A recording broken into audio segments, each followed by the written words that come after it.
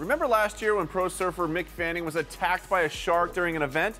Holy moly, was that scary. But he survived that, and after taking a break from surfing, he returned this week to where the shark attacked him and won the J-Bay Open. The first thing to overcome was actually just getting out there and, and not um, being so petrified. Congrats to Fanning. If that happened to me, I'd never go in the ocean again.